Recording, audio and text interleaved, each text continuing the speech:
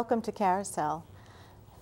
I'm your host, Marcelle Soviero, and tonight we're going to hop on the carousel and talk to interesting people about interesting things. Tonight I'm delighted to have Dr. Thomas Anastasio as our guest. Dr. Anastasio is an artist whose work is on public display all across the United States, including in the Smithsonian, the Nassau Space Museum, and the Museum of Arts and Sciences. Welcome. We're glad you could be here. Thank you.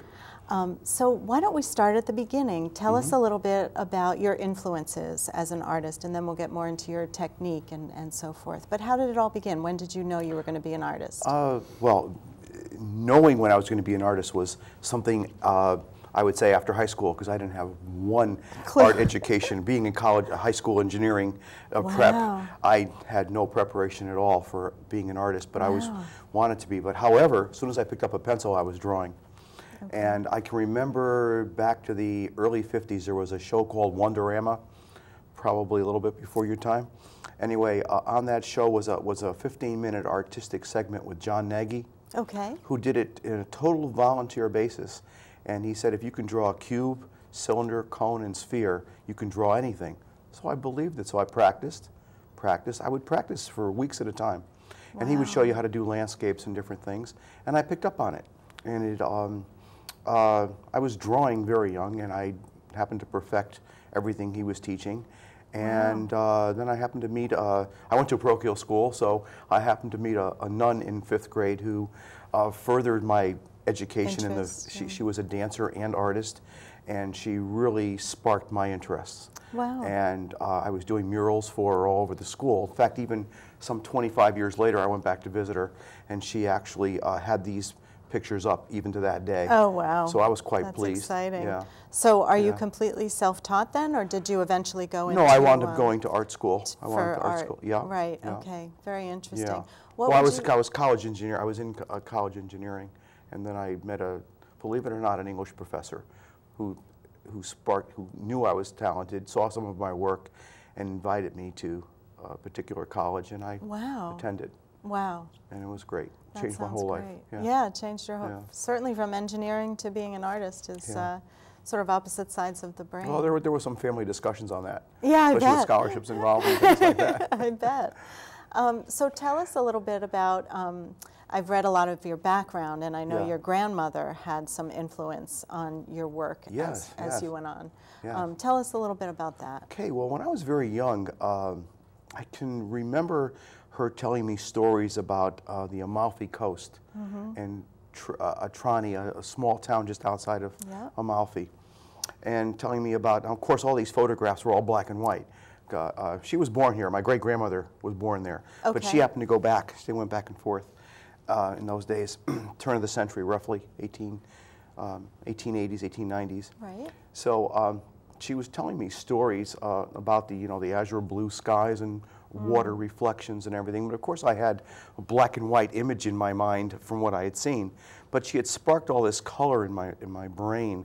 And she was telling me stories about things that happened to her when she was younger, what it was like to live in the city, live on a farm, and so on, how it was like at the turn of the century, the Belle Epoque time. It, that right. was even going on in Italy where she lived. Right. You know, right. so they, they enjoyed a kind of a culture. It wasn't just a fishing town. Right. Um, Amalfi was was a banking town years ago. Mm -hmm. So it uh, it was like a mini Venice right. of that area. Anyway. But all through this was all through her stories. You had this not was all seen through her it. stories. No, I had so not seen it. So she brought this color into so later, late in later years, of course, uh, married my wife, and we went over to Italy and we spent a lot of time over there. Mm. Uh, in fact, we're lucky we have a house over there now, which we visit periodically. But anyway, um, getting back to that, I'm going to segue a little bit. I think this might be interesting. I also heard a story from her, um, which leads to my historical understanding of things and my avid interest in historical facts and science. She, she told me uh, about, uh, the, the, family had a farm mm -hmm. in northern Fairfield, and they also lived in Easton, and they would take the produce down to Bridgeport. They, they had a little produce store um, down near what you would know as Seaside Park or the University of Bridgeport area. Mm -hmm. Well, she told me about a guy that used to come in her store with a beard and a, a white beard and long hair. Uh, he'd give her a nickel and pat her on the head, you know, and so on, and talk to her every so often. And of course, during the 50s, uh, Wild Bill Hickok and uh, you know, all those, uh, all, all of the um, cowboy series, you know, Gene Autry Right. and those. So I had a lot of pictures of me with little six guns and everything else. and so she would tell me these embellished stories and um, of this man that met with her and talked with her and how this lady came in who used to shoot and was, was a sharpshooter and so on. So I didn't think too much about that until many years later. Uh, Bernard Riley, Bud Riley, was a well-known artist in this area. In fact, he, he, he did the, the archival uh, 1976 bicentennial mural um, at the Bridgeport Burroughs Library, the archival library. And while he was doing his research, I was helping him. I photographed him while he was doing. We were good friends, and um, I happened to discover that the gentleman I'm talking about was Buffalo Bill in the Wild West show. But now, anecdotal to that, and I realized much later that what she was teaching me was what he had done for the American Indians by not only uh, bringing the Wild West show. It wasn't just the Wild West show. It was a show that brought in culture of the uh, the culture A of the Indian, culture, a different culture, and gave the uh, the red man um, a respect that they hadn't had before. So all of this Yeah. hurt. It sounds like clearly your grandmother was a storyteller, and that She uh, was, that inspires all of us in some way. And Yeah. she was visual in her telling, and I can Yes, imagine that. So you took some of those themes from the Amalfi Coast, Mm-hmm. um, and perhaps some from the West. I don't know. Does that play into your I art would say at all uh, as well? Western Western education helped out a lot, Does a bit. three-dimensional development. And Yeah. so over time, you developed a philosophy, Mm-hmm. as well as we'll talk in a, in a minute about your entire process that is your own, that others Mm-hmm. now um, work toward achieving. But tell us a little bit about your philosophy of art. Oh, okay. Um, I uh, art art is a, art has a diverse uh, human uh, aspect to it. Uh, when you when you deal with uh, the ancients, let's say, if you're dealing with um, hieratic or Mesopotamian writings, you know, um, or E- Egyptian hieratic, um, you're talking about uh, everyday life, history, history of its time, and so on. We're going back possibly 5,000 years, Right. maybe longer. We, we're not sure yet. Anyway, um, when you uh, deal with petroglyphs, especially aerial petroglyphs, as we see in South America um, and other Central America as well, and um, we uh, we uh, in cave paintings, let's say, like like the recently discovered French cave paintings, Mm-hmm. Right, Uh, we're dealing with a more religious aspect. But however, they they all encompass one major theme whereby we we learn about science, uh, we learn about math, and history, all encompassed in one, and it seems to come out of that kind of thinking. As far as my own ideas go uh, dealing with painting, um, I look at painting um, as, a, as, a, uh, as an intuitive universal endeavor. So um, this spirit of painting to me is in the paint and the brush or the pencil, you know, whatever you're using as the media. Today it might even be a, a stylus for, for um, a, you know, a computer, Computer, stylus. yeah. And that's just as valid. Um, It's just as valid as anything else. And um, So the specifics of the painting spark something universal in. Exactly. the, in the Yeah. in the viewer. in Yes, and and as you go on uh, in my own work, I look at like um, earth, wind, fire, and you know everything that's around the universe, um, and I try to encompass that in a whole, in Mm-hmm. an energetic, you know, universe of some type. Well, Um, I think at this point we should step back mm-hmm. and explain that you are a multimedia artist. You have done a Yeah. lot of different things: frescoes, sculpture, paintings, Chinese uh, Mm-hmm. Yeah. Chinese art. Um, so, do you have a specialty, or are you Uh, sort of Well, photography is a strong specialty. I forgot to mention And that. painting's a, s- a strong specialty. I was Okay. working, my father had photography as a hobby years and years ago. And when I was very young, and I spent a good portion of my childhood in a dark room and Mm-hmm. exposed to cameras and wound up teaching and so on in, uh, in photography and meeting a lot of people in the field. Um, met people like Richard Avedon and Ansel Adams, quite a few others over my history. And um, so I would say that photography is very important, as well as uh, I can draw three. Personally, I can draw three dimensional. I used to do architectural illustrations, but it got kind of boring to me. I wanted to get into something more creative. Okay. So as I moved on, um, and the more travels I had made, I, I saw my style changing. Well, Yeah. and, and what's so interesting about that, and of course, um, we're going to show a piece of your Mm-hmm. work now, um, but you develop basically your own style, which you call mystical fusionism. Yes, yes. um, which is wonderful. And let me just show our audience an example, and then I'd like you to tell us about um, how this painting came to be. And oop, there we go. A little hard to see. How's that? Um, there we go. So clearly, there's vibrant color here, and the piece is um, Falling Waters of Desire. Falling right? Wars of Desire number, I think, seven. There, there's about 20. This is an ongoing series I've been doing for about 10 years, Really? and it's still Okay. going. I, I have a probably five series working at the same time. I usually Really? I do about At any given time, any given five? time. I, I yeah, I have about five themes I'm working on presently. Wow. So tell us about Yeah. the theme behind this series and Sure. how you actually come to. Well, do it. uh, with this particular painting, I was I was at Yellowstone Park years ago. Okay. About uh, let's see, in the in the probably 2000, I was at uh, maybe a little earlier than that. I was at Yellowstone Park, and I was doing some sketching out there. Did a lot of uh, plein air painting. I, I like to use. Um, I usually grind down my own ink. Hmm. I, I use Sumi inks, and I usually grind it down early in the morning. It calms me down, gets me ready, and um, uh, from there, I, I, will, I will do a series of black and white sketches. So I was doing um, the mountain ranges and so on, you know, whatever I could see out there. And I, have, I came upon some waterfalls. And um, seeing this particular water pattern just really attracted me. I don't know why, but it just had an attraction. So I made a few sketches and I brought them back to my studio here in Connecticut. And uh, what I did was uh, I made a picture and a study in color from my memory, and it was on a large piece of paper, and I didn't know what to do with it. It was hanging around. I, I usually pin things up and I'll leave it for a while. Right. And I was working on a painting which I showed you earlier out in the Yes. drawing room. Yes. And um, so I had that kind of Suminagashi thing going. And so between the background and the foreground, I didn't quite know what to put together, but it was one of those mornings you get up and it's a total intuitive morning, okay?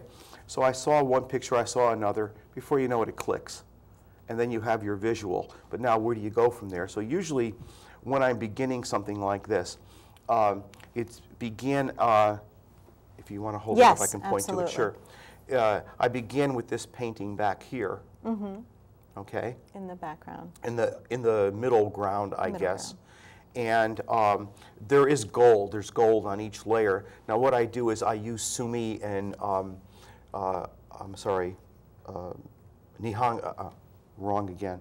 I use certain Asian papers Okay. to get a translucency. Okay, so I'll do about five paintings at one time. Some of them are dipped in a suminagashi, which is kind of a water ink printmaking technique. I'll pull them up, let them dry, and I'll overlap. So I have about five paintings going on, and a lot of times it's real. Now, the imagery starts from something real, but however, I deal with satellite photographs as well. Oh. So um, I've been working with NASA imagery since I was a kid. I was really interested in the Gemini program. Okay. Uh, I was writing uh, NASA when I was a young kid. I did. I have tons of illustrations I did when I was a kid of all the missiles and God knows the Mercury program and everything. But how, how do you marry? We started with this in Yellowstone Park. Yeah, I know. And I'm- seeing I'm- I'm water, very- and now Yeah, I know, with I'm the jumping- aerial views. Yeah. And but somehow you bring it all together beautifully. Well, I, um, I worked with a synoptic view. If you will, synoptic viewpoint is basically if you think of an impressionistic painting or a billboard. If you're, clo- if you're far away from a billboard, you see a complete picture, but as you move close, you'll see the little Ben-Day dots. Okay, well, that's a synoptic view of the uh, Earth, and things will flatten out. So as I look down and I see and I blow things up on my computer or whatever I'm using at the time, it could be photography, uh, I'll get certain ideas visually, but conceptually, I'm making sketches. I can make a lot of sketches, but since I'm a photographer as well, I usually do a lot of sketches in my head, and they'll be going on 24/7. Mm-hmm. You know, and I so I keep turning that around. So the background image came out of a series of topographic images that I saw, and then I layer them. In the, there's like five pictures going on, and those are usually cut into grids, and each layer gets a, a 22 karat gold layer. And then from there, the middle ground is, will be overlaid, and then you have the central image, mm-hmm. which would be this piece right here. And would that be the waterfall? And that would be the waterfall, yes. oh, So wonderful. that, but it is integrated within the entire theme, so, and that's where Falling Waters comes from. and that's the falling Yeah. water. So it's Yeah. an interesting process. It starts with drawing something very Mm-hmm. um, tactile. You come back and you start getting these aerial views and you pull things together. Now, is that what mystical fusionism is, or? Well, um, yes I'm and sure no. there's more yeah, to it. this this is this is the visual version of what mystical fusionism is. Um, um, the, this this is also a time lapse situation. I've always been interested in, um, if you will, the still photograph. Mm-hmm. So, like you know, my bridge in discovering the flip book. Uh, I would say that um, uh, I've been interested in that futuristic view of things all the time. So, uh, not having the money when I was a younger artist, I did develop a technique called teleoptographics, which probably got me to uh, into New York and into my galleries. But basically, it was taking television images Okay. and uh, silk screening them onto glass and plexiglass and having these images roll while they were there. Now, at the same time, Nam June Paik, who passed away about two years ago, was a video, an early video artist. Okay. And I liked his work. I knew what he was doing, but I could never afford to buy what I see in this studio at the mm-hmm. time, mm-hmm. anyway. Mm-hmm. Starving artist, usually. Yep, yep. And so I'm working with a time space sequence also in my work. Okay. Okay. Now, getting back to your question, I'm sorry, I'm, I, I segued. Um, that's okay. yeah. We're talking about um, the uniqueness of the mystical fusionism. Mm-hmm. Okay, And Mm-hmm. you've you've sort of brought us um, right. toward, well, toward well it. dealing with mystical fusionism, fusionism is actually a, a William F. Buckley, a local man. um, Connecticut. eh, Connecticut. Okay. Uh, it's, that's, it's strictly an American political term, but fusion would be the joining or conjoining of energy, to keep it simple. Right. Uh, but I added fusionism because it does touch onto, I don't like to get into politics, but it does touch on like, uh, fusionism might be uh, the joining of conservative and uh, liberal thinking, Mm-hmm. and you have um, uh, libertarians today, possibly. Mm-hmm. So that might be an idea there politically. But, But as far as fusionism our happens yeah, in many, fusionism many things. happens- With food, I think there's it does. fusionism. It does. It happens. I watched Rachael Ray this morning, and it happened. And she's doing it. And it was great too. I'm thinking of trying that. Anyway, um, a mystical would be uh, in the religious, the, the religiosity, um, and what I've drawn from my background in Catholicism, uh, Judeo-Christian background, um, uh, and Asian Asian readings and Indian readings. You know, there's a lot of. I have a broad spectrum uh, going back to my childhood, and it just built on that. And I hadn't. I didn't realize that one day. I would, uh, I would incorporate that into all my work because in the back of this is Hebrew poetry as well. In this picture, in this Yep. picture is, is uh, there's writing back here, but to me the poetry that's in the background, that's on one of the layers, um, will come out and disappear, but it's kind of like looking at a sky. So we have a synoptic view looking down, but we also have one looking into deep space. So sometimes we can't see the sun or the moon because of the clouds. Same thing with the poetry, the spirit's there. Wow. So the spirit energy is still there. Now, is this something that idea. you, um, I know people follow your lead Mm-hmm. on mystical fusionism. Tell us a little bit about your contemporaries and, and um, Um, yeah, um, well, uh, dealing that that's something I noticed back back in the early '90s, Okay. uh, late '80s, early '90s. Uh, before that, uh, you know, we had pop art and minimalism and so on. I thank God I got a chance to meet Andy Warhol and a lo- lot of the artists. I got to New York at just about the time that minimalism was in and photorealism were in. Okay. So uh, I actually had my first one-man show at the Meisel Gallery, Okay. uh, which is on Prince Street, Yep. and then went down to the Ward Nasse, and uh, we're right around the corner from OK Harris. So the heart of the new art field, outside of the abstract expressionist, which was up in the village. The, the new art center was off Prince Street and West Broadway. So I happened to be in some good circles at a very early age. I got, just got there right on time, it seemed. You know, um, anyway, so uh, being down there and being exposed to all these artists and talking with everybody, and everybody's coming in and visiting shows, and we're all talking. I, I would say that uh, I began to notice something happening around the early 90s, like I said. Uh, during the 80s, it was kind of a, um, a potpourri of styles, but kind of graffiti oriented with Keith Haring and Basquiat. You know, um, the the uh, street paintings were in. Uh, that wasn't what I was doing. I had a lot of writing in my work. I've always had writing or Yes, poetry in my work. Yeah. Um, even Gibran's work is in my Yeah. is is into, integrated. I'm doing a series on that right now too. Great. Um, that's going to take another five years, God wills. Anyway, uh, but anyway, uh, uh, So you were saying in the 90s? in the 90s, I began to notice that at uh, strategic galleries, uh, like, like the Dillon Gallery, the Ward Nasse, the, fir- the first gallery, a Russian-oriented gallery, there were artists there, um, even the Iron Gallery um, um, had um, Asian artists, Japanese Sino artists, American artists, Russian artists, Romanian, Pakistani. There's a whole potpourri of artists that were, you know, integ- integrating gold, some Asian styles mixed in, and so on. That's clearly in, all, in a lot of your work. Yeah, Yeah. and it's clearly in even modern, the expressionistic artists.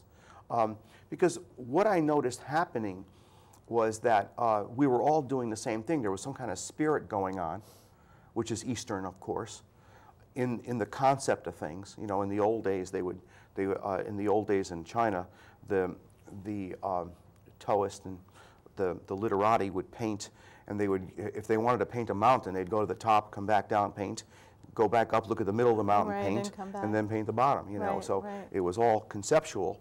Well, a lot of the art of the 60s and 70s was conceptual, came out of the mind, came out of thoughts, uh, reactions, and so on.